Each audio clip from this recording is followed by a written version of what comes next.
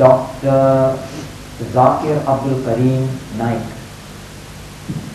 who is presently the Secretary General of the Islamic Research Foundation in Bombay.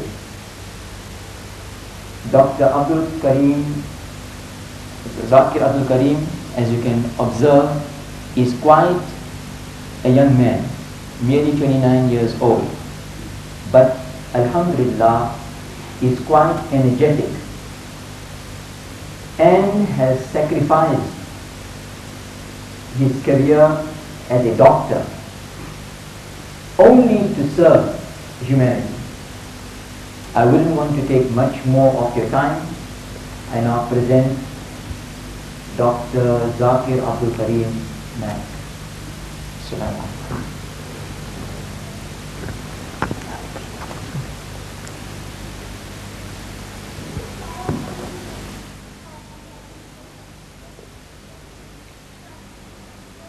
أعوذ بالله من الشيطان الرجيم. بسم الله الرحمن الرحيم. أولم ير الذين كفروا أن السماوات والأرض كانت رتقا ففتقناهما وجعلنا من الماء كل شيء. حي أفلا يؤمنون. بسم الله الرحمن الرحيم. رب اشرح لي صدري ويسر لي أمري. واحلل عقدة من لساني يفقه قولي. I welcome all of you with the Islamic greetings. Assalamu alaikum wa rahmatullahi wa barakatuhu. Meaning, may peace, blessings, and mercy of Almighty Allah be on all of you. The topic of the talk, as mentioned by Brother Muhammad Said, is the Quran and science, conflict or conciliation. The Quran happens to be the last and final revelation of Allah subhanahu wa ta'ala which was revealed to the last and final messenger Muhammad may peace be upon him as a mercy to the whole of mankind. For any book to claim that it is the word of God, for any scripture to claim that it is a revelation from Allah subhanahu wa ta'ala, it has to stand the test of time. It has to prove itself to be the word of God in all the ages. Previously in the olden age, it was the age of miracles, the age of Mawjuzah. Al-Quran happens to be the miracle of the miracles. Then later on came the age of literature and poetry. Muslims and non-Muslims both claim that Al-Quran is the best Arabic literature available on the face of the earth. And there is a challenge given in the Holy Quran in Surah Baqarah, chapter number 2, verse number 23 and 24, which says, وَإِن كُنْتُمْ فِي رَيْبٍ مِمَّا نَزَّلْنَا عَلَى عَبْدِنَا And if you, and if you are in doubt as what we have revealed to our servant Prophet Muhammad, may peace be upon him, from time to time, فَتُّوا بِسُورَةٍ مِّن مِثْلِ Then produce a surah like it. وَدْعُوا شُهَدَاءَكُم مِّن دُونِ اللَّهِ إِن كُنتُمْ صَادِقِينَ And call forth your witnesses, if there are any besides Allah, if your doubts are true. فَإِن لَمْ تَفَلُوا And if we cannot, وَلَن تَفَلُوا And of a surety cannot, فَاتَّقُوا النَّارَ الَّتِي وَقُدُوهَا النَّاسَ بِالْحِجَارَةِ Then fear the fire whose fuel is men and stones. وَإِدَّةِ الْكَافِرِينَ Which is prepared for those who reject. The Quran gives a challenge that you should produce a surah like it.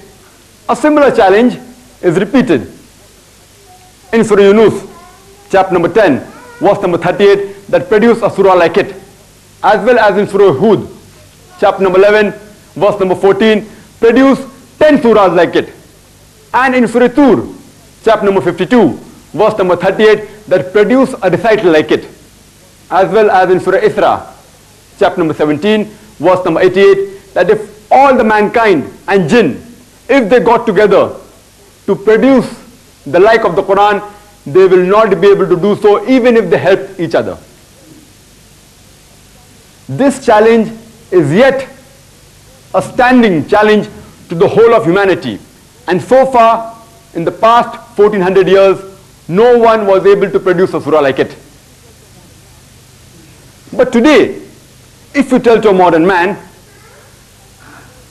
that suppose a particular scripture tells in a very poetic fashion that the world is flat, will he believe it? Today is not the age of poetry and literature. Today is the age of science. So let's analyze whether Quran and science, whether they conflict or they conciliate, whether they contradict or whether they're compatible. According to the famous physicist Albert Einstein, who also received the Nobel Prize, he said, Science without religion is lame, and religion without science is blind. I would like to repeat it. According to Albert Einstein, science without religion is lame, and religion without science is blind. Let me remind you that the Quran is not a book of science. It is a book of signs. It is not a book of science, S-C-I-E-N-C-E. It is a book of signs, S-I-G-N-S. And there are more than 6,000 signs, that is ayats, in the Quran, of which more than a thousand are scientifically based. As far as the talk of today is concerned, I will only be speaking about the scientific facts which have been proved. I won't be speaking about hypotheses and theories because as you may be knowing, many a times science has taken new turns which I will give a few examples during the course of my talk. Today, I will only be speaking about the scientific facts which have been proved to be 100% sure.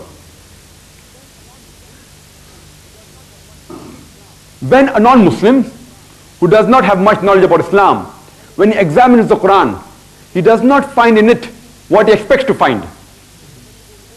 He thinks that as the Quran is a very old book, revealed 1400 years ago, it will be having matter which is outdated.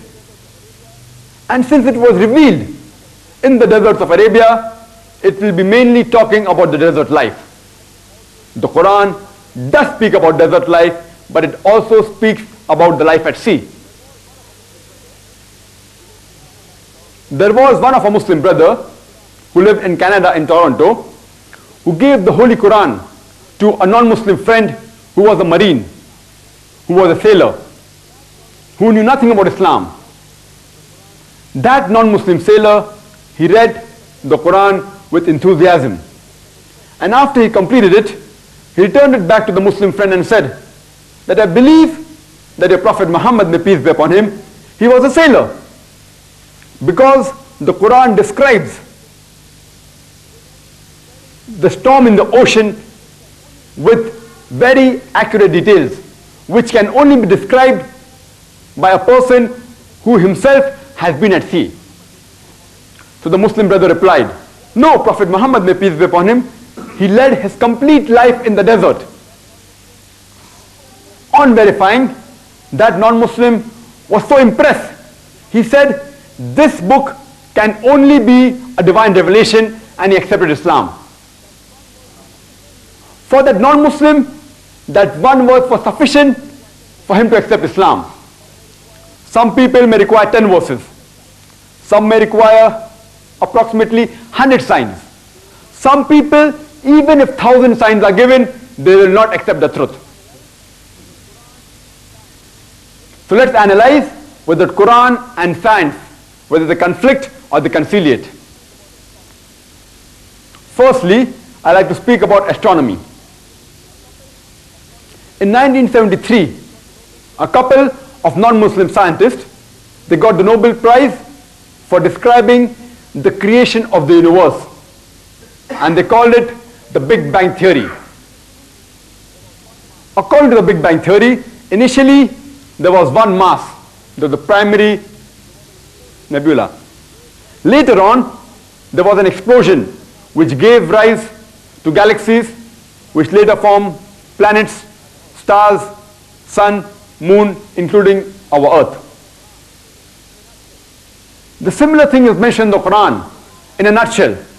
And I start my talk by quoting an ayat from the Quran from Surah Al-Anbiya, chapter number 21, verse number 30, which says, أَوَلَمْ يَرَ الَّذِينَ كَفَرُوا Do not the unbelievers see, أَنَّ السَّمَاوَاتِ وَالْأَرْضَ كَانَتْ رَتْكًا فَفَتَقْنَاهُمَا That the heaven and the earth, they were joined together and we closed them asunder.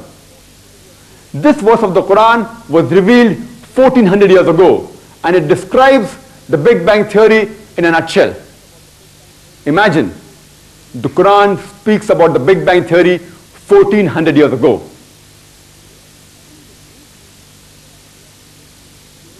Previously, the European scientists as well as the philosophers, they thought that the earth is the center of the universe. And they believed that all the planets, including the sun, they revolved around the earth. This theory of geocentrism was thought to be correct from the second century BC at the time of Ptolemy till as late as the 16th century until Copernicus when he said that the sun is the center of the solar system and that the earth revolves around the sun. Later on, in 1609, another German scientist, Johannes Kepler, he wrote the Astronomia Nova and he said that not only do the planets revolve, they also rotate about the axis. The planets including the earth. There is a particular verse in the Quran from Surah Al-Anbiya, chapter number 21, verse number 33, which had put me in doubts. When I was in school in 1981, I had learned in geography that the sun is stationary. That the sun does not rotate about its axis. But when I read the Quran in Surah Al-Anbiya, chapter number 21, verse number 33, it says, هُوَ الَّذِي خَلَقَ اللَّيْلَ وَالنَّهَارَ It is Allah who has created the night and the day. وَالشَّمْسَ وَالْقَمَرَ the sun and the moon, kullun fi falakin yasbahun, each one traveling in orbit with its own motion. The Arabic word used is yasbaha, coming from the root word sabaha, which describes the motion of a moving body. If I say a person is doing yasbaha on the floor, it will not mean he's rolling, it will mean he's walking or running. If I say a person is doing yasbaha in water, it will not mean he's floating, it will mean he's swimming. Similarly, when we use this term yasbaha for a heavenly body, it will not mean it is flying, but it will mean rotating about its own axis. So the Quran says that the sun revolves as well as rotates about its own axis. This was discovered recently, just a couple of decades ago, in which you can prove that the sun rotates by a simple experiment. Since you can't see the sun for a long time with the naked eye, you can have equipment which can project its image on the tabletop. And you'll find that there are black spots in the sun, which take approximately 25 days to complete one rotation. So in short, the sun rotates, the sun takes 25 days, days to complete one rotation. Today, this scientific fact has been incorporated in most of the textbooks. So if you analyze the Quran, the Quran does not conflict but conciliates with science.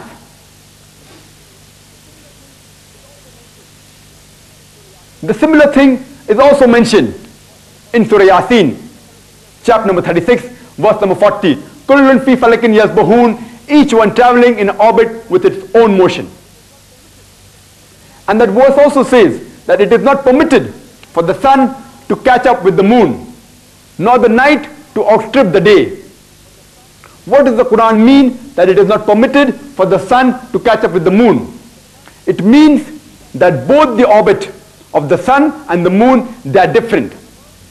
It's giving an indication to the astronomers that the orbit of the sun and moon, they are different. Quran also mentions in Surah Yasin, chapter number 36, verse number 40, which says, وَالشَّمْسُ قَمَرٌ لِمُسْتَقَرٍ لَهَا That the sun rotates about its orbit to a place determined. The Arabic word here is mustaqar, means to a place determined, to a time appointed. Science tells us today that the light of the sun is due to a chemical reaction which is taking place since billions of years. And one day, this chemical reaction will end and the sun will extinguish it. The same thing the Quran mentions, that the sun is moving to a place determined and one day it will extinguish. And science tells us today that the sun is moving towards a point in the universe which is called as the solar apex, which is there in the constellation of Hercules. And it's moving at a speed of about 12 miles per second. The similar thing about the sun going to extinguish is mentioned in Surah Luqman, chapter number 21, sorry, chapter number 31, verse number 29, as well as in Surah Zumar, chapter number 39, verse number 5. Previously, the scientists, they thought that the sun, sorry, the earth was flat. And people, they were afraid to venture too far because they were scared that they will fall over. But they had no proof that the earth was flat. It was just an assumption. In 1597, Sir Francis Drake was the first person who proved that the world is spherical by sailing around it. The Quran mentions in Surah Luqman, chapter number 31, verse number 29, that seest thou not that Allah merges the night into day and the day into night. What is the meaning of the night merging into day? It means that the night gradually and slowly changes into day. And similarly, the day gradually and slowly changes into night. This phenomena is only possible if the shape of the earth is spherical. It's not possible if the shape of the earth is flat. Because if the earth is flat, there will be a sudden change. A similar thing is mentioned in Surah Al-Zumar, chapter number 39, verse number 5, which says, It is Allah that overlaps the night unto the day and the day unto the night. It is Allah which coils the night unto the day and the day unto the night. The Arabic word used here is kawara, meaning to coil, as though a person coils the turban around the head. The Quran says the night overlaps or coils over the day, and the day overlaps coils unto the night. This phenomena is only possible if the shape of the earth is spherical. It's not possible if it's flat. Previously, we thought that the light of the moon was its own light. But now, after science is advanced, we know that the light of the moon is not its own light, but it's a reflected light. If you read the Quran, the Arabic word for the sun is shams. It's referred to as siraj, means a blazing lamp, or wahaj, means a torch. The sun is referred to as siraj or wahaj. And the Arabic word for moon is qamar. It is referred to as nur, means reflection of light, or as munir, meaning borrowed light. This is mentioned in Surah Furqan, chapter number 25, verse number 61. It is Allah who has made the constellation and He has placed therein the sun as a torch and the moon which has borrowed light. But if you refer to the Bible, in Genesis, chapter number 1, it says that God created two bodies of light, the sun and the moon, both having their own lights.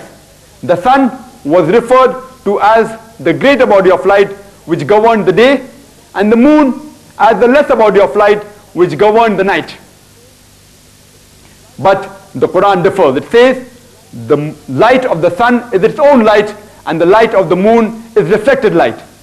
No place in the Quran is the sun referred to as Nur or Munir. And neither is the moon referred as Siraj or Wahaj. And the Arabic word for star in the Quran is Najam. It's referred to as Thaqib. The light, as it pierces through the darkness, it consumes itself by the time it reaches the earth. The Quran also mentions that we have created the sky as a protected ceiling. Today science tells us that the atmosphere we have, it acts as a filter and prevents the short waves such as X-rays and ultraviolet rays from entering into the surface of the earth. And because of this atmosphere, that's the reason that life is able to sustain itself on the earth. Otherwise, life will not exist on this earth. And the Quran mentions, we have created the sky as a protected ceiling.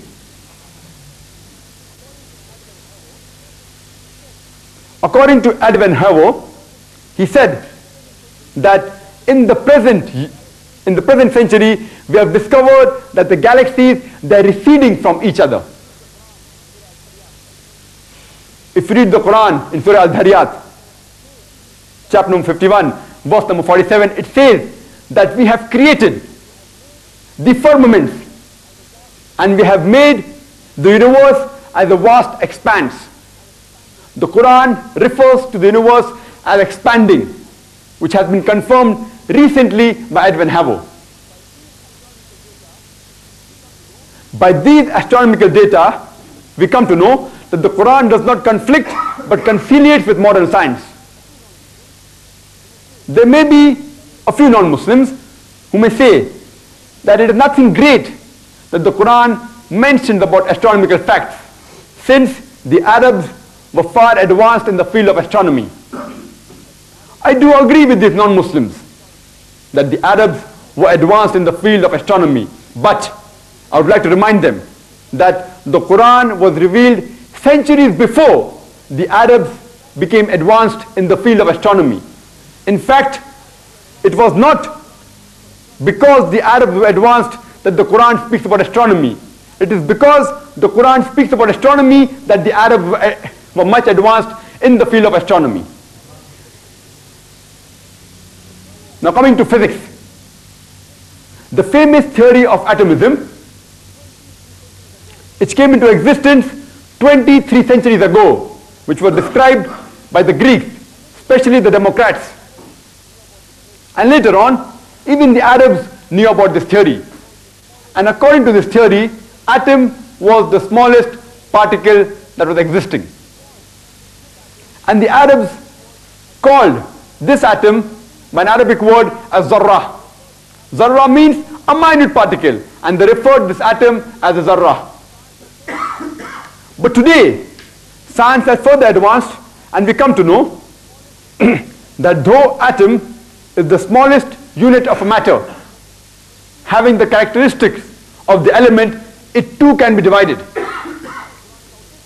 So people may think that now the Quran is outdated, since the Quran mentions in Surah Al-Zal that you shall be able to see even an atom's weight of good deed as well as an atom's weight of evil that you do. So people may think the Quran is outdated. But if you read Surah Sabah, chapter number 34, verse number 3, it says that when the unbelievers say that the hour of judgment will not come, tell them, it will surely come by the will of Allah subhanahu wa ta'ala who has the knowledge of the unseen and has the knowledge of everything as minute as the atom which is there in the heavens or the earth and even things which are lesser or greater than the atom. So Quran mentions that there are things lesser than the atom. So Quran is not outdated, it is most up to date.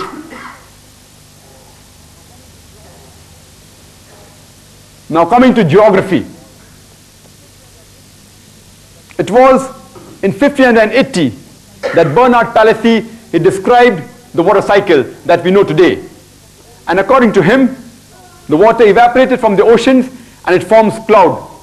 These clouds traveled and later condensed and they rose and they fell as rain. And this rainwater went into the ground and later on drained into the oceans. And this cycle was repeated. Previously, in the 7th century, according to Thales of Miletus, he described that the vapors, the spray of the ocean, they were thrust into the interior of the land which fell as rain. And later on, whatever water that was there present in the land as lakes and seas was due to the thrust of the wind on the ocean. And this water returned into the oceans by a secret passage which was called the abyss. And at, the, and at the time of the Plato, it was referred as Tartarus. This theory has been proved to be wrong today. But even in as late as the 17th century, people believed in the Descartes theory. As well as in the 19th century, people believed in the Aristotle theory that water collected in the mountain caverns which fed the lakes and seas. But today we know that the water that's present in the lake and the river is due to the rainwater. It's described in the Quran in a nutshell in Surah Zumar, chapter number 39, verse number 21, which says that it is Allah which sends down water from the skies and makes it to soak in the cracks of the ground and causes sown field of different colors to grow. This verse describes the water cycle in a nutshell. A similar thing is mentioned in Surah Rum, chapter number 30, verse number 24, that it is Allah that sends down water from the skies and causes the dead land to live, to come back to life again. It is also mentioned in Surah Mu'minun, chapter number 23, verse number 18, that it is Allah who sends down water from the sky and we make it to store into the ground and we can make it to drain. Again, if you refer to Surah Hijr, chapter number 15, verse number 22, it says that we cause fecundating winds, we cause impregnating winds, and then let water fall from the sky. The Arabic word used here is lawaki, which is the plural of laki, coming from the root word lakaha, which means to impregnate or to fecundate. What is the meaning of the word impregnate? It means that the pollen that's there in the air, it impregnates the cloud and causes the rain to fall. And the other meaning can also be that the clouds, they join together and they combine and cause condensation which causes rainfall. This is also mentioned in Surah Nur, chapter number 24, verse number 43, that we cause the clouds to move gently and cause them to join and then to form a heap and then we cause water to flow from them. The same verse, Surah Nur, chapter number 24, verse number 43 also says that we cause rain to fall from mountain clouds. Now today if we go in the aeroplane and we see down, we will see that the clouds appear as mountains. After the science is advanced, we come to know that the Quran does not conflict but conciliates with science. Now, coming to the field of geology. According to the recent advances made in the field of geology, we come to know about a phenomena called as folding, which gives rise to the mountain ranges that we have today. The earth that we live on, the surface is solid. But the deeper layers, it is hot and fluid, which is not hospitable for any living life. According to the phenomena of folding, the mountain ranges, they give stability to the earth. The radius of the earth is 3,750 miles. But the surface, the earth's crust, is only about 1 to 10 miles in thickness, which is very thin. That's the reason the earth can shake. And this mountain ranges act as pegs, as tent pegs, and prevent the surface of the earth from shaking. This thing is mentioned in Surah Nabah, chapter number 78, verse number 6 and 7, that we have made the earth as an expanse, was Jibala Autada, and the mountain as pegs, as stakes. The Arabic word autad means pegs or stakes. So the Quran mentions that the mountains we have made as pegs. The similar thing is mentioned in Surah Al-Anbiya, chapter number 21, verse number 31, that we have made the mountains standing firm, lest the surface of the earth will shake. Means the reason for why the mountains were made is clearly described in the Quran, lest the surface of the earth should shake. Now coming to oceanology. There's a verse in the Quran from Surah Furqan, chapter number 25, verse number 53, which says that it is Allah who has created two bodies of flowing water, one sweet and palpable and the other salt and bitter. And he has created a barrier between them, a partition which is forbidden to be transgressed. The same thing is mentioned in Surah Rahman, chapter number 55, verse number 19, which says that Allah has created two bodies of flowing water and a barrier between them. Now, after the advancement in the field of oceanology, we know that though the salt and sweet water meet, they do not mix. There is a barrier. And the Arabic word used is barzakh. This barrier can't be seen. It is an unseen barrier. The same word barzakh is also used for the interim life between the death and resurrection. It's an unseen barrier, barzakh. This can clearly be seen in the waters of Cape as well as in Egypt when Nile, when river Nile flows into the Mediterranean Sea, as well as into the Gulf of Mexico, the Gulf Stream, which flows for thousands of miles.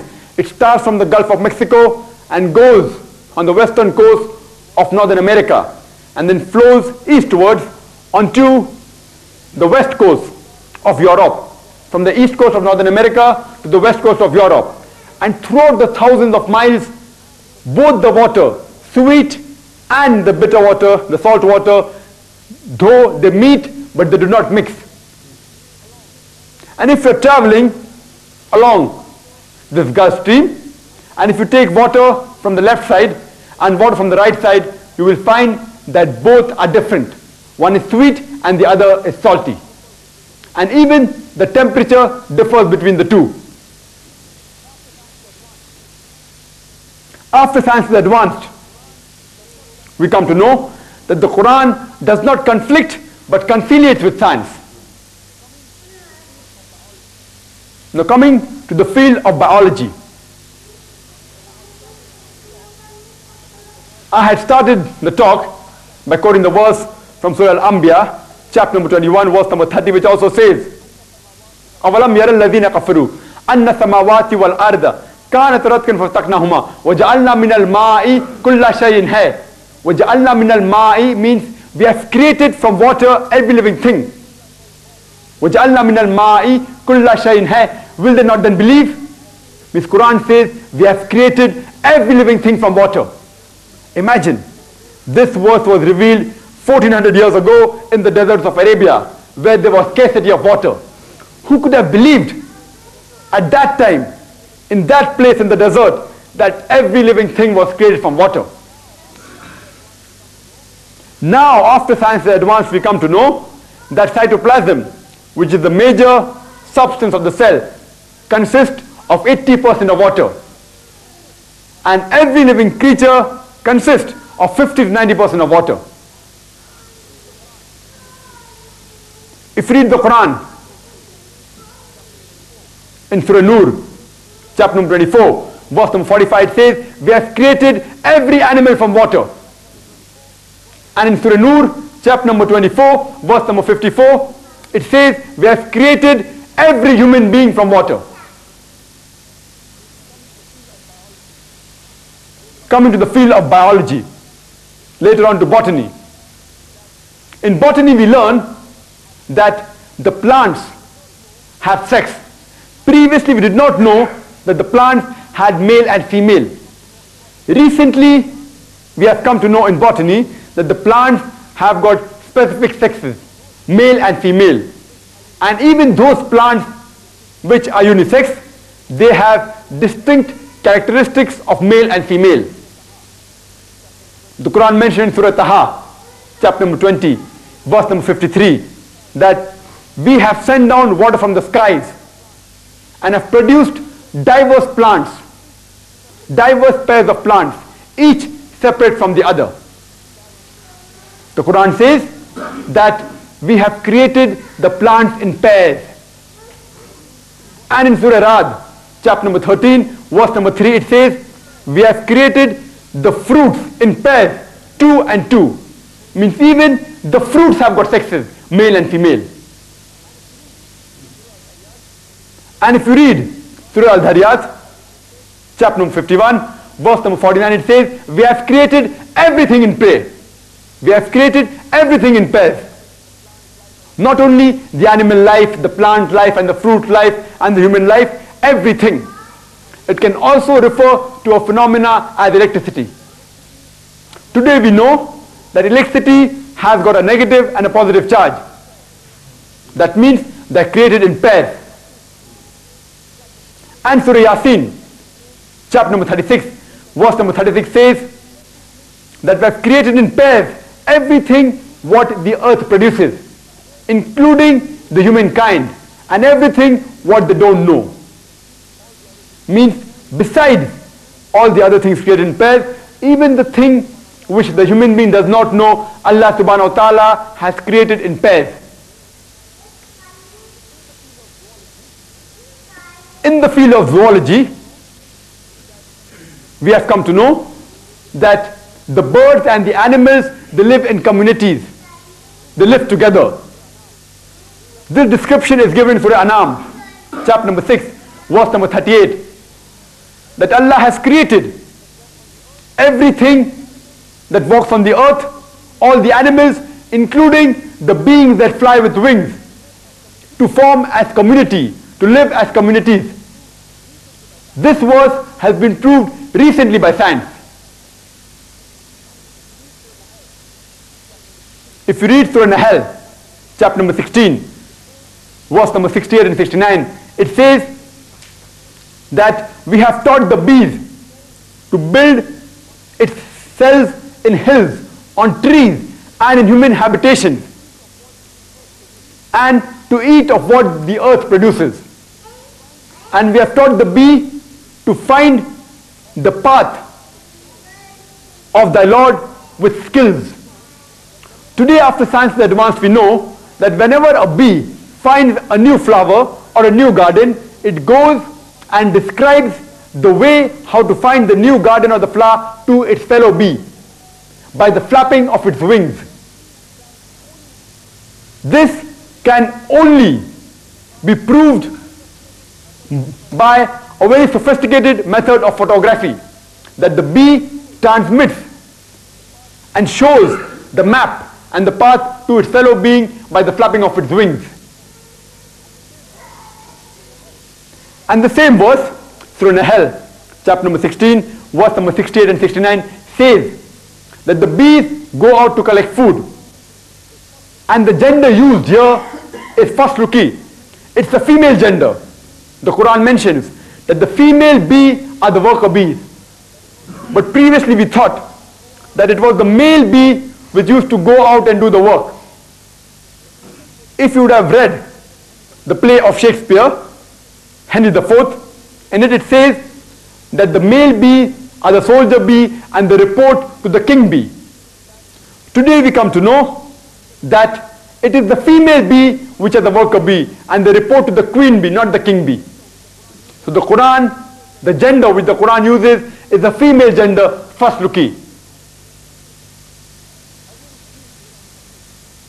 Again if you read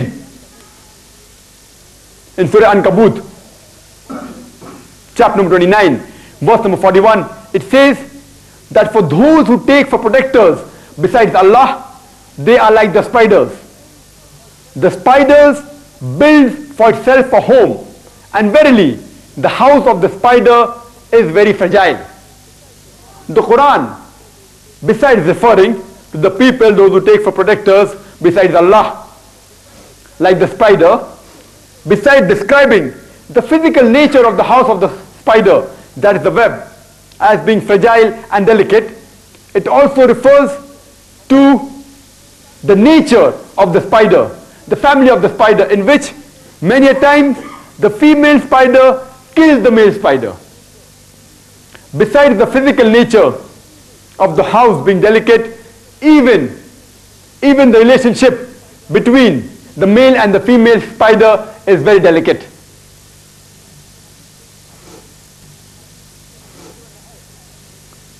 If you read Surah Naml, chapter number 27, verse number 17 and 18, it says that before Solomon and his army matched, marched the hosts of jinn, men and bird. And when they approached a lowly valley of ant, one of the ants said, O ye ants, get ye into the habitation, lest Solomon and his army will trample you under their feet unknowingly. If you would have read this particular verse a few years ago, you may have thought that it is a fairy tale book in which the ants are speaking to each other. It may be a mythology in which the ants are speaking to one another. Today, after the advancement of science, we know that the animal or the insect which has a lifestyle closest to the human being, it's, it's the ant. In Surah Nahl, chapter number 16, verse number 69, that from the belly of the bee, we give you a drink of varying colors in which there is a healing for mankind. The Quran mentions that the, in the honey there is a healing for mankind. Today we know that the honey has got mild antiseptic property. That's the reason that the Russian soldiers, they used honey to cover the wound, in which the moisture was prevented from being evaporated and it left very little scar tissue. And due to the density of the honey, fungus and bacteria could not grow in that wound. If a man is suffering from the allergy of a particular plant, and if you give him honey from that particular plant, that person starts developing resistance. Now coming to the field of physiology, there is one particular verse which is of very much importance in the Quran. It was 600 years after the Quran was revealed that Ibn Nafis, he described the blood circulation. And 400 years after he described, William Harvey made it famous to the Western world. But 1400 years ago, this particular description of the, of the blood circulation is described in the Quran. In short, the food that we eat, it enters into the intestine. And from the intestine, it is absorbed into the bloodstream via a complex media, most probably through the liver. And from the bloodstream, these food constituents are transported to almost all the organs, including the mammary glands which produce the milk. The same thing is mentioned in Surah Nahl, chapter number 16, verse number 66. That verily in the cattle is a lesson for you. We give you for drink. We give you to drink from within the bodies, which is coming from the conjunction of the constituent of the intestine and blood, milk which is pure and pleasant. This verse of the Quran describes the blood circulation and the production of milk in a nutshell. Imagine, this was mentioned 1400 years ago. Quran also mentioned in Surah Mu'minun, chapter number 23, verse number 21, that in the cattle there is an instructive sign for you. We give you a drink from within the bodies and many are the multiple benefits and of the meat you can eat. The Quran describes the production of milk in a nutshell 1400 years ago. Now in the field of embryology, there were a few Arabs who collected all the data which the Quran mentioned about embryology and followed the instruction of the Quran which says, if you are in doubt, ask the person who knows. So they took all the matter on embryology and presented it to Professor Keith Moore, who happens to be the head and chairman of the Department of Embryology in the University of Toronto in Canada. And he happens to be one of the highest authority in the field of embryology. And they asked him that whatever the Quran speaks about embryology, is it compatible with the latest discoveries in embryology? Professor Keith Moore had all the verses translated and he examined them and he said that most of the matter which the Quran speaks about embryology is 100% perfect. But there is a few data in the Quran which I cannot comment whether it is true or false because I myself do not know about it. And one of these were the verses from the Quran from Surah Al-Alaq, chapter 96, verse number 1 and 2, which says, اقرأ باسم ربك الذي خلق خلق الإنسان من علق Read, recite, proclaim in the name of thy Lord who created, who created man from something which clings, a leech-like substance. So Professor Keith Moore said, I do not know whether the embryo in the initial stages looks like a leech or not. So he went back in his laboratory and under a very powerful microscope, he examined the initial stage of an embryo and compared it with a photograph of a leech. And he was shocked at the striking resemblance of the two. Later on, Professor Keith Moore, whatever additional knowledge he acquired from the Quran and from the Hadith, he added into his book, The Developing Human. And he revised his old edition and wrote the third edition. And he got the award for the best medical book written in that year by a single author. And this book was later on translated into several languages of the world.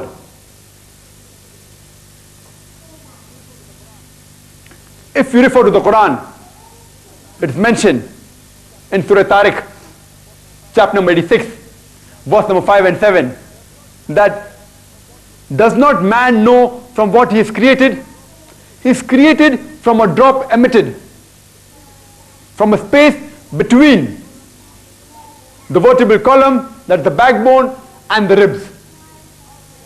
Today, after the advancement of embryology, we know that the gonad of the human beings, that the testicle and the ovaries, initially in the embryonic stages, they evolve from the same space as the kidney.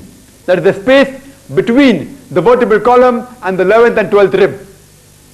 And later on, these ovary and testes, the descent. In the female, the ovary descends into the true pelvis. And in the males, the testini, the testes through the inguinal canal descends to the scrotum. And even in the adult life, the blood supply, the nerve supply, and the lymphatic drainage is yet from the same space, from the space between the vertebral column and the 11th and the 12th ribs. The Quran says that in Surah Hajj, chapter 22, verse number 5, and Surah Mu'minun, chapter 23, verse number 14, that man is created from a nutfah, from a minute quantity of liquid. What is the meaning of nutfah? Nutfah means a very minute quantity of liquid, similar to the trickle that when you empty a cup, the small minute quantity that remains in the cup is called as a nutfah. It's a very minute quantity. Today we come to know that only one sperm is enough to fertilize the ovum. In a normal emission, 300 million sperms are emitted, of which only one is sufficient to fertilize the ovum. Means the minute quantity required is 1 upon 300 millionth. And percentage wise it is 0.00000003. 0.80 than 3. Such a minute quantity is required for the fertilization of the ovum And the Quran refers to it as nutfah.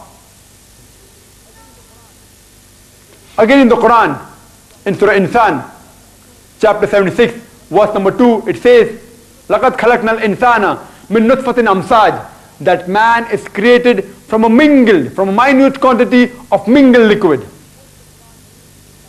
What does the Quran mean by mingled liquids? Means beside the spermatic fluid, even the prostatic fluid helps and facilitates in the movement of the sperm. That's why the Quran refers to it as the mingled liquid, as the mingled fluid. In the field of genetics, we have come to know today that it is mainly the sperm which is responsible for the sex of the child. The sex of the child is determined by the 23rd pair of chromosomes. If it's XX, it is a female. If it's XY, it's a male. The Quran says in Surah Najm, chapter 53, verse number 45 and 46, that we have created man from a minute quantity of liquid. Coming forth from the male. The Arabic word used is tumna, which refers to a male. It can't refer to a female. The Arabic word tumna means gushing forth from a male. A minute quantity of liquid which gushes forth from a male. The Quran says it is the male fluid. It is the sperm which is responsible for the sex of the child.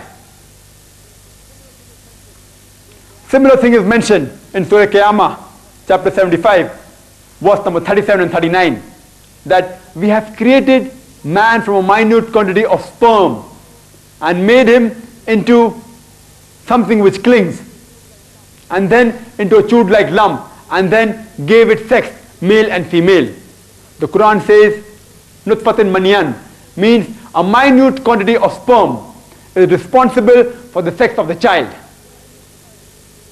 In our Indian society, we normally have the mother-in-laws that when they want a son and when the daughter-in-law gives birth to a female child, they normally blame the daughter-in-law. It actually depends upon Allah subhanahu wa ta'ala whether the child is a male or female. But if you have to blame someone, you have to blame the father, not the mother. Because it is the sperm which is responsible for the sex of the child. So you can't blame the mother. Again the Quran says that we have created the human being in the womb of the mother. Creation after creation in three waves of darkness. According to Professor Keith Moore, these three waves of darkness refers to the anterior abdominal wall, to the uterine wall and to the amniochorionic membrane. These three waves of darkness is mentioned in the Quran. Again the Quran describes the various embryonic stages in detail.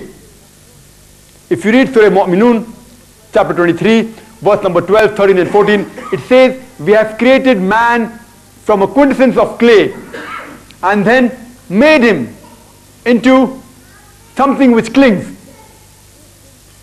and placed him in a place of fixed and firm place and then made that something which clings into a chewed-like lump and made that chewed-like lump into bone and then clothed the bone with flesh and muscles.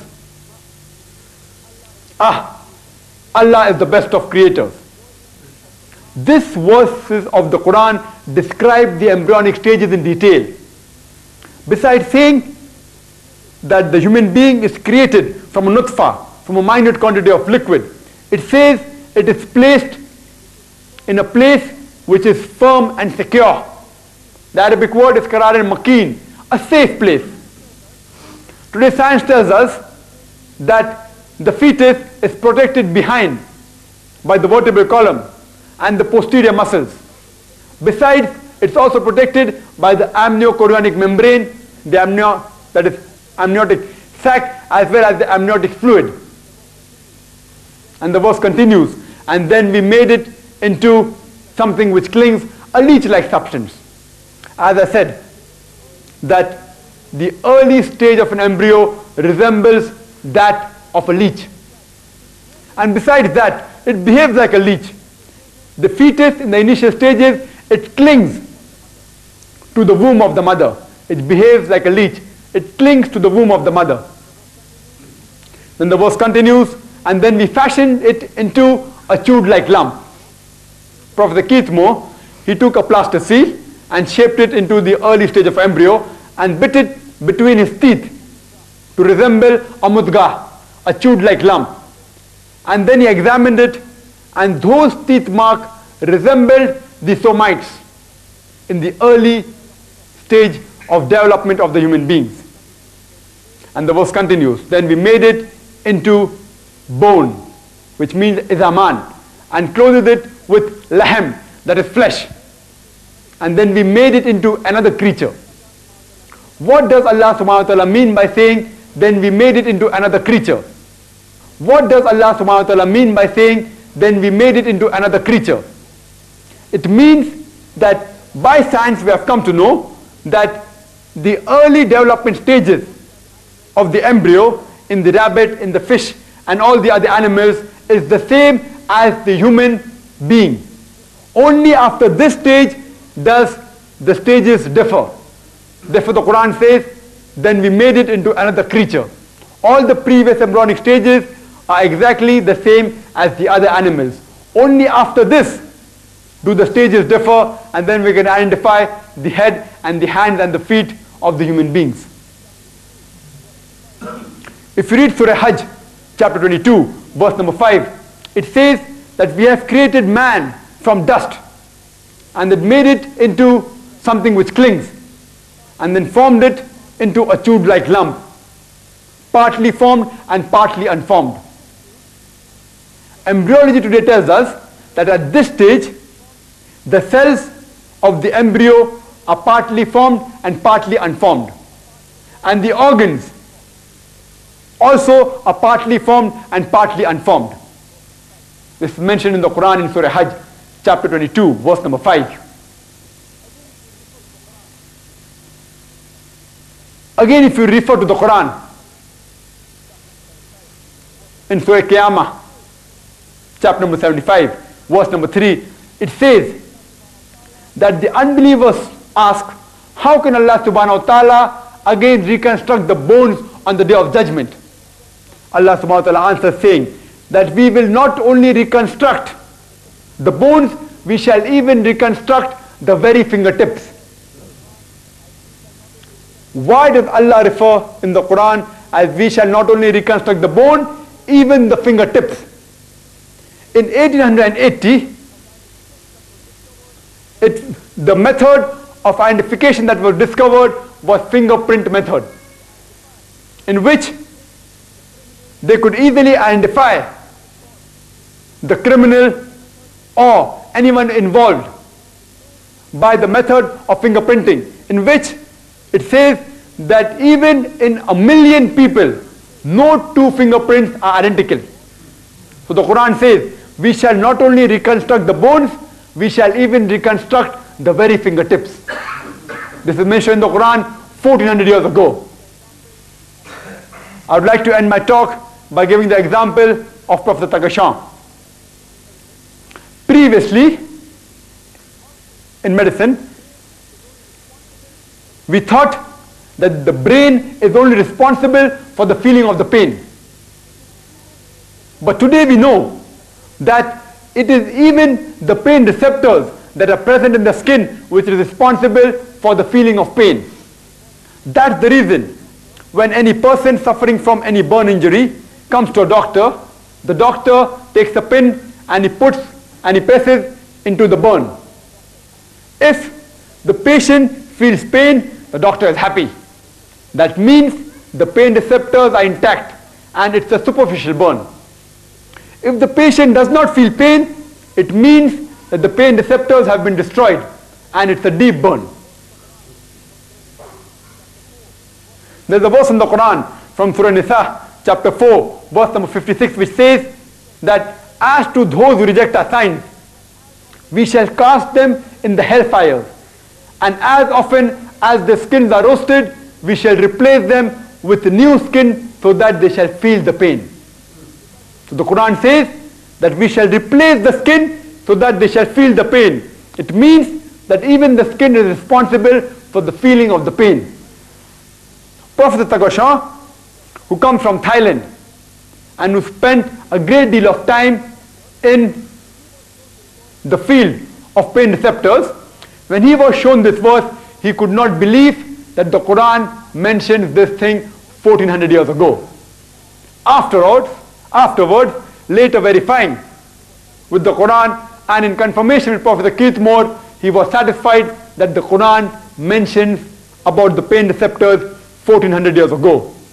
He was so impressed that in the conference which was being held in Cairo on the scientific science of the Quran and Sunnah, he accepted Islam in the conference and said, Ashadu anna ilaha illallah wa ashadu anna Muhammad Rasulullah. That I bear witness that there is no God but Allah and Prophet Muhammad may peace be upon him is the messenger of Allah. Wa akhir dawana alhamdulillahi rabbil alameen. Now if there are any questions on the topic or if you require any clarification on the subject of Quran and modern science, conflict or conciliation, then you're most welcome to pose it.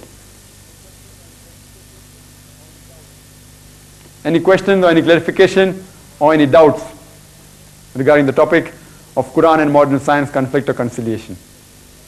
So the question that while I was describing the verse of the Quran, Surah Mu'minun, chapter 23, verse number 12 to 14, I said that human being is created from alaq. It's also mentioned in Surah Alaq, chapter 96, verse number 1 and 2.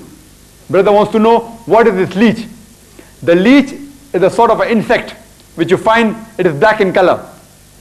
It is long and oval and it's called as a bloodsucker. And when it gets attached to the skin, it sucks the blood. And it's very difficult to remove it. So the Quran says that in the initial stages, the embryo looks like a leech. And, and when you observe the shape of the initial stage of the embryo, it resembles that of a leech. And besides the shape resembling that of a leech, even it behaves like a leech, it clings. The fetus in the womb of the mother clings to the uterus in the same fashion as a leech clings to the human body. Hope that answers the question. That brother has asked me a question that when the child is in the mother's womb, does the hearing come first or the sight? Since I had to, since to end the talk very early, I did not mention many scientific points mentioned in the Quran. If you read the Quran in Surah Sajda, chapter number 32, verse number 9, it says, it is Allah who gives the hearing, the sight, and understanding and feeling. Similar thing is mentioned in Surah Insan, chapter 76, verse number 2. It is Allah which gives the hearing and sight. So Quran says, first comes the hearing, then comes the sight. By medical knowledge we come to know today that the ear is the first sense that comes in the embryo, in the fetus of the human being. And by the fifth month of pregnancy, the ear is developed. And the eye splits open by the seventh month of pregnancy. So Quran confirms with the medical knowledge we have today. First comes the hearing, then comes the sight. Hope that answers the question. Yes, from the sister side, any questions?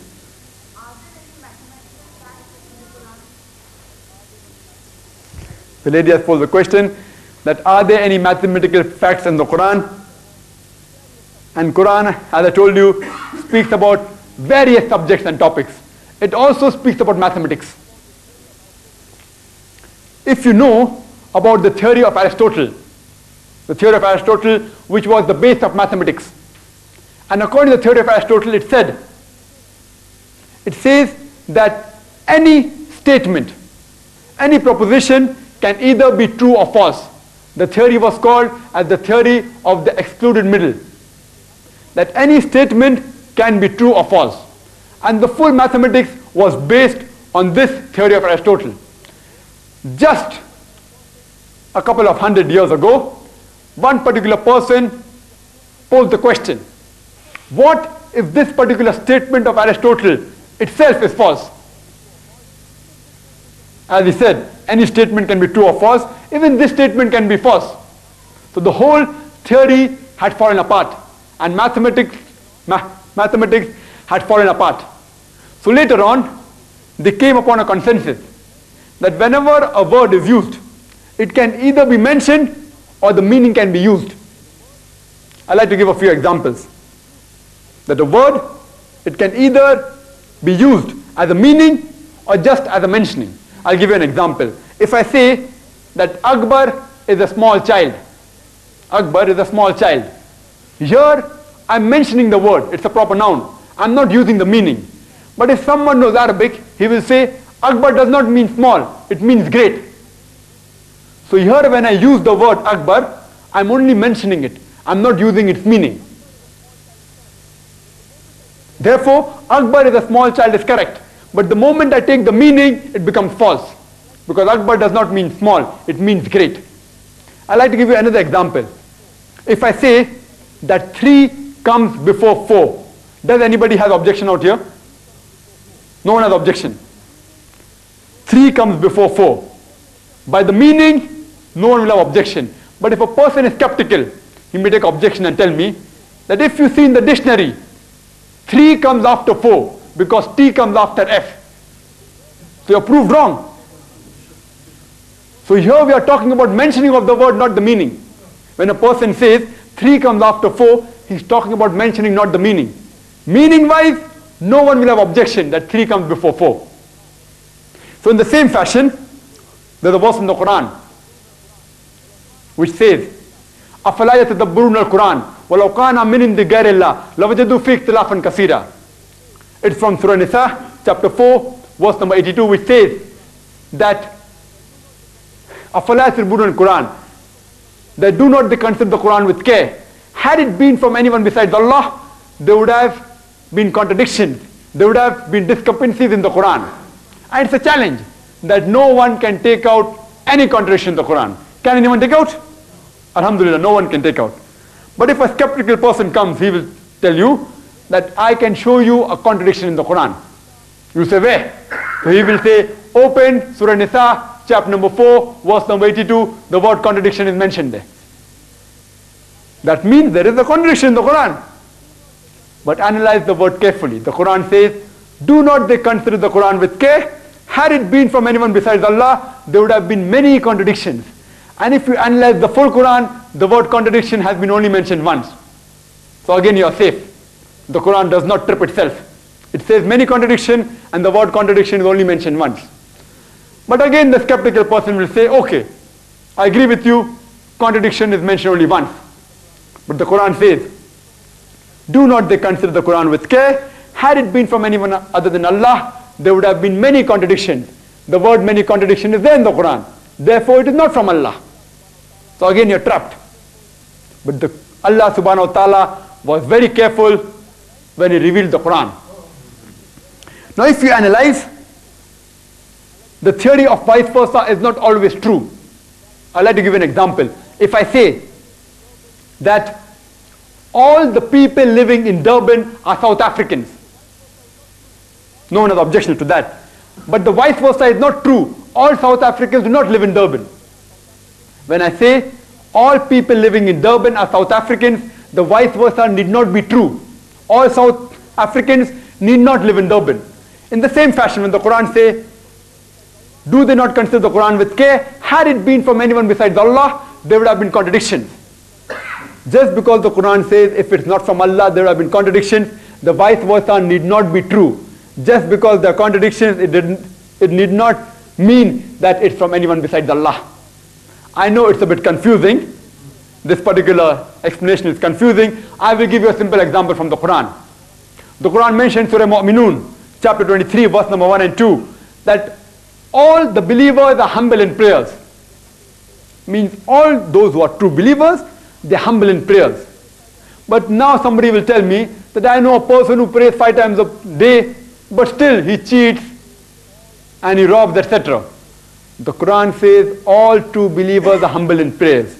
The Quran does not say all those humble in prayer are true believers. If the Quran would have mentioned that all those who humble in all those who humble themselves in prayer are true believers, then the Quran would have been proved false. So Allah subhanahu wa ta'ala has taken care how to reveal the Quran.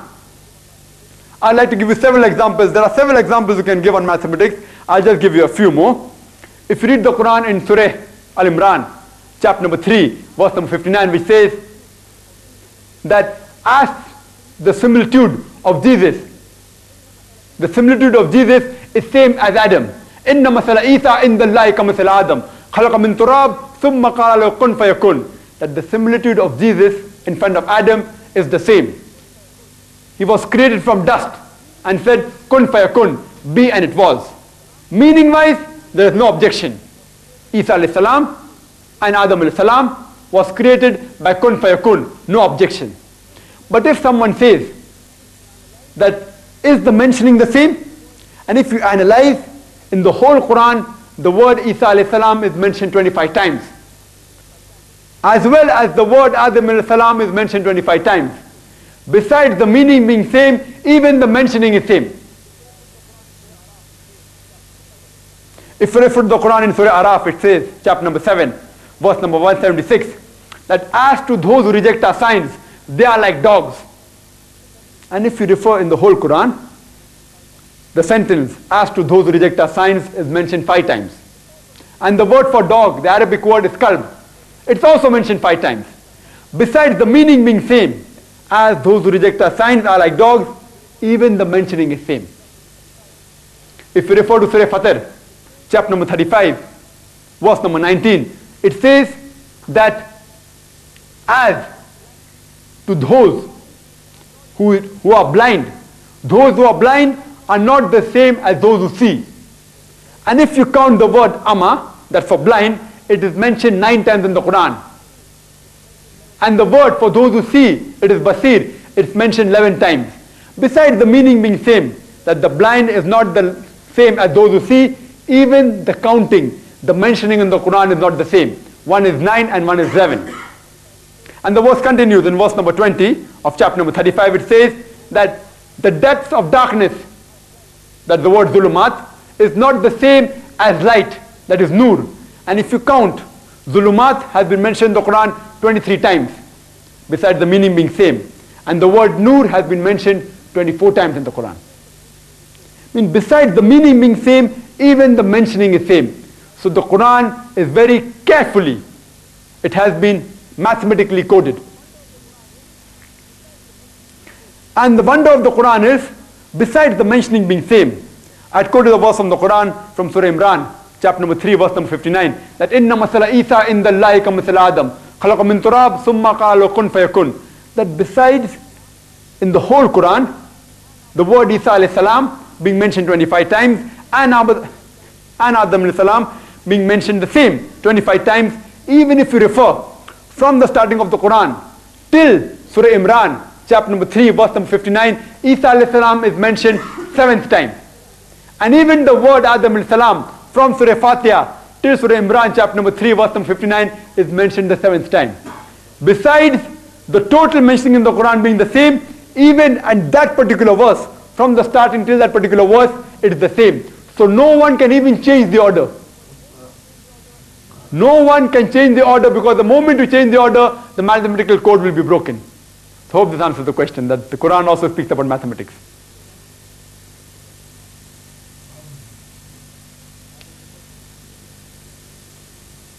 Are there any other questions? The lady has posed a question that in the Quran it is mentioned that the two east and two west. She is referring to an ayat from Surah Rahman, chapter number 55, verse number 15 to 17. It says that Allah subhanahu wa ta'ala is the Lord of two east and two west. But today we only know of one east and one, and one west. So isn't the Quran conflicting with science? Science tells us that from the point where the sun rises, it's called as due east. And the point where the sun sets is called as due west. But science also tells us that only on two days in the full year, that during the equinox, that the sun exactly rises from due east and sets exactly in due west. In all the other days, it either rises north or south of east and sets either north or south of west. And if you analyze, in the summer solstice, that's 21st or 22nd of June, the sun rises from one extreme of the east. And in the winter solstice, that's the 22nd or 23rd of December, it sets on the, it rises from the other extreme of east. So the Quran refers that throughout the year, the sun keeps on rising from different points and as well as sets in different points. So when the Quran says Allah is the Lord of two east and two west, it means that Allah is the Lord of the two extreme points of east and the two extreme points of west. Hope that answers the question. Brother for the question that has science analyzed that the first creation of Allah subhanahu wa ta'ala is light, nur. In fact, if a person goes too much into science, normally people think he becomes an atheist. So scientifically, there is no proof as such amongst the scientists about the existence of Allah subhanahu wa ta'ala. But with the help of the Quran, we can very easily prove the existence of Allah subhanahu wa ta'ala. And according to a famous scientist, he said that if you have little knowledge of science, it makes you an atheist. But if you have in-depth knowledge of science, it makes you to believe in Almighty God. But no scientist has so far proved by science the existence of Allah subhanahu wa ta'ala. But with the help of the Quran, we as Muslims can very well prove the existence of Allah subhanahu wa ta'ala. As I said, you can easily pose the question to an atheist that who could have written all these matter, all this data mentioned in the Quran 1400 years ago? Who else besides the Creator? And I've also given a talk on is the Quran the word of God and have proved in several ways the existence of Allah subhanahu wa ta'ala with logic, reason and science. And also proved that, that Quran is the word of God. But science so far, as my knowledge goes, has not given any comment that Allah subhanahu wa ta'ala initially knew or not. Hope that answers the question.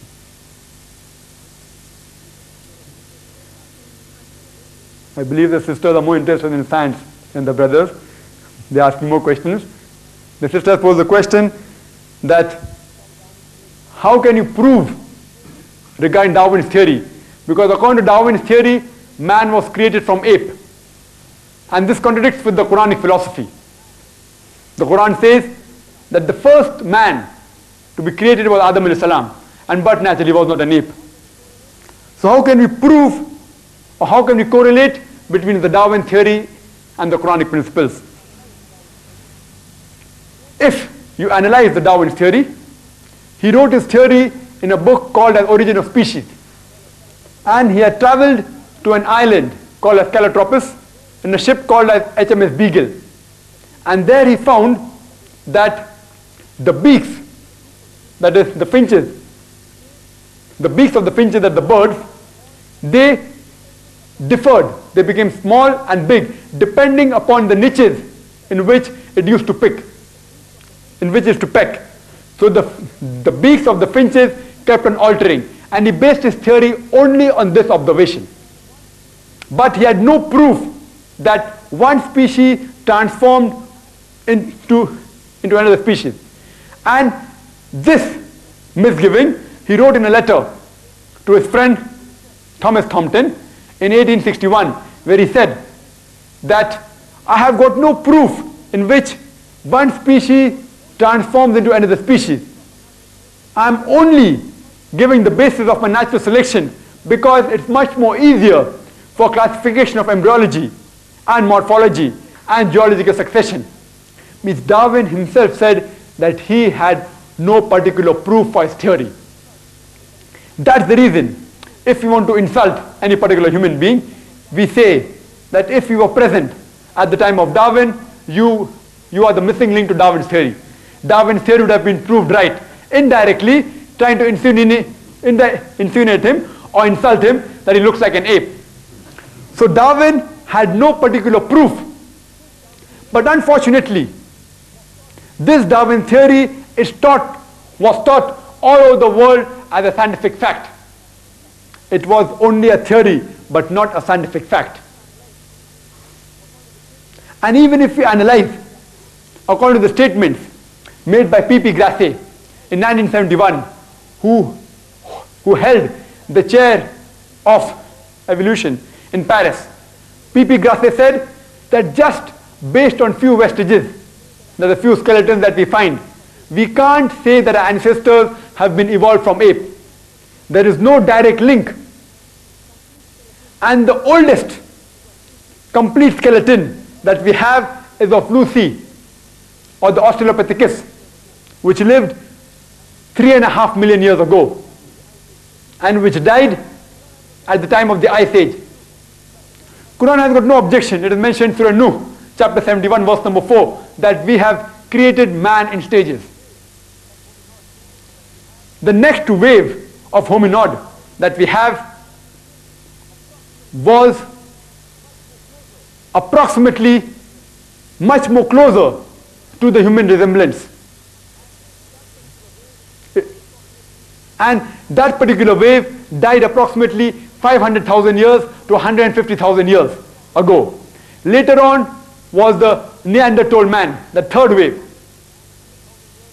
which died about 100,000 years to 40,000 years ago. And the last wave was the Cro-Magnon, which, which is the closest resemblance to the human form. But science so far has shown no link between the ape species and the human species.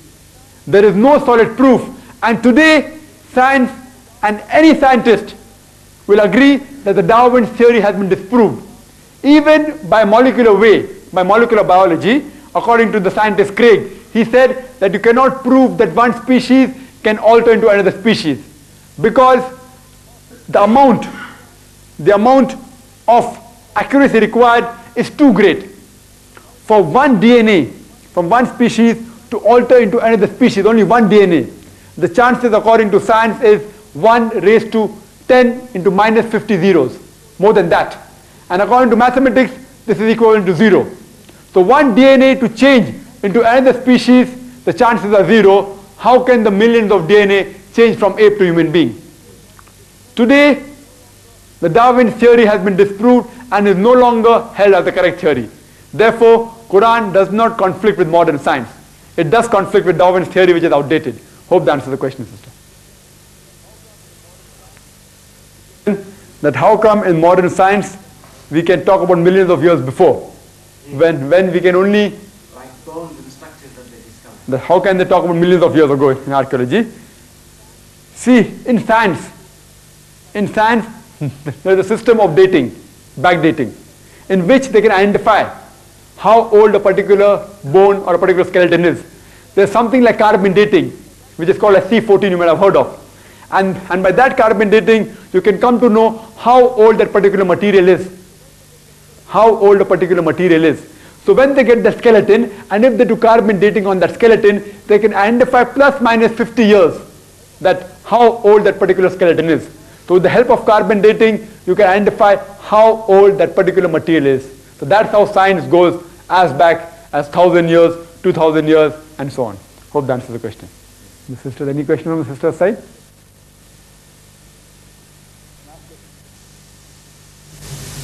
Last question we can entertain.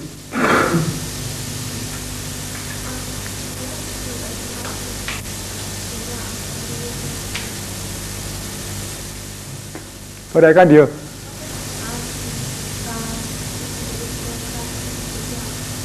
About hereafter. sister has posed the question that what does Quran speak about hereafter or for example life after death? How can, sorry? In comparison with science. How can we prove the hereafter or the life after death in comparison with science? First you should know sister that science is not that much advanced. It has not advanced that much that can prove everything. The way that I prove to a non-Muslim, to an unbeliever regarding hereafter, if he wants to know any scientific, he wants, suppose a non-Muslim, pose me the question, how can he prove scientifically about the hereafter? So I say that since the Quran mentions about the hereafter, about the life after that, I believe in it. So he will pose the question, that means you're doing blind belief. I say, no brother, I don't do blind belief, it's a logical belief. And I explain to him that since if you gather all the matter of the Quran that speaks about science or any matter, approximately 80% of the matter in the Quran has been proved to be scientifically correct. 100% correct. Scientifically 100% correct. Now the remaining 20% of the matter mentioned in the Quran is neither correct and neither wrong. It goes into the ambiguous slot. Because science has not advanced so far. But there's not a single verse in the Quran which can be proved to be scientifically wrong. So 80% you can say, take for example, is 100% correct and the remaining 20% is ambiguous. Neither correct, neither wrong. So I would place life after death in this 20% ambiguous slot. But my logic tells me that if 80% of the Quran is 100% correct and the remaining 20% is ambiguous, neither right, neither wrong, my logic says that even this 20% will be correct. So I'm basing, I am saying life after this is correct on a logical base, not on blind belief. So if 80% is correct, I say that even the remaining 20% will be correct. Unless anyone proves to me one particular verse of the Quran to be scientifically wrong, then can be possible this life after death can also be wrong. But since not a single verse of the Quran can be proved scientifically wrong, I say that logically even this particular aspect is correct. This is one of the ways in which you can prove to the unbeliever that there is life after death. And another way which you can prove that there is life after death is that you ask a simple question to, to the non-Muslim. That do you consider being dishonest as good or bad? Yes brother, is it good or bad? Being dishonest is good or is bad. Robbing is good or bad? Bad. Raping a girl is good or bad? Okay. Now the person who's posing me this question, but natural, he's an atheist. And, or maybe he believes in God, but he does not believe in the hereafter. So I pose him a simple question. Can you prove to me, can you give me one logical reason why stealing is good or bad? I'm sorry, why it is bad.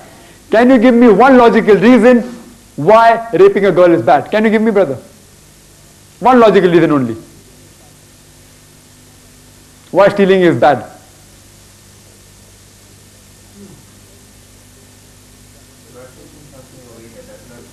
That's a brother's point. He said that you're taking something from someone who does not belong to you. It does not make a difference to me. No, the person that owned it, maybe worked very hard for it It does not make a difference to me if I'm robbing somebody's money as long as I'm gaining out of it. Suppose if I rob somebody's wallet and if I get a thousand rand, I can have a good luxurious dinner and I can enjoy life, correct?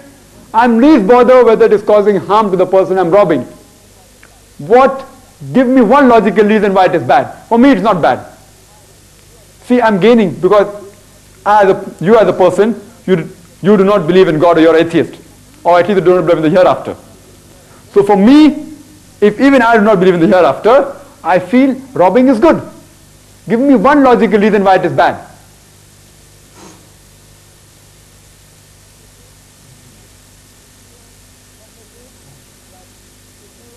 Some may say that if you rob, somebody will come and rob your money. I'm telling I'm a great smuggler, suppose for example. I have a lot of bodyguards. I have a lot of bodyguards. No one can rob me. I have all the power. I have got many men to protect me. I've got many security guards. So I can easily rob anybody else's money, but no one can rob from me. Now I'm saying that robbing is bad. And if you pose me the question, Why robbing is bad? I will tell you that even if it benefits you in this world materially, in the hereafter you will be punished for it. The only logical reason you can give that robbing is bad is that you have to tell him that even if you get away with it in this world, you will be held responsible in the next world. Even if you get away with raping, you may enjoy it. In this world, you can easily, you can easily play hide and seek with the police. You can dodge the police. If you're caught, you can easily bribe the lawyer. So maybe in this world you'll benefit materially, but surely in the next world you will be held responsible. I want to know that whatever law you have in this world, suppose Hitler incinerated 6 million Jews, what punishment can you give him in this world which is equivalent to his crime? Can you name any punishment, brother? The only punishment that can be equivalent is in the hereafter. So logically, robbing is bad can only be proved if you believe in hereafter. Raping is bad can only be proved if you believe in the hereafter. The only equivalent punishment you can give to certain crimes which are so exorbitant as the criminal crime that done by Hitler is in the hereafter. As the Quran says, we will substitute new skin so that he feels the pain. He can be incinerated more than six million times in hell, but not in this world. So in this way of argument, you can also prove to the unbeliever that there is life after death. Hope that answers the question, sister. I think we'll end the session. Wa Waqru dawan alhamdulillah rabbil alamin. Jazakallah khairan for that wonderful exercise. And I think we ought to thank Dr. Zakir Muhammad Naik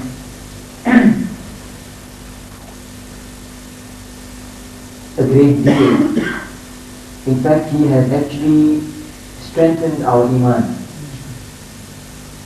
Because philosophically speaking, an action can only be said to be good if the result is good.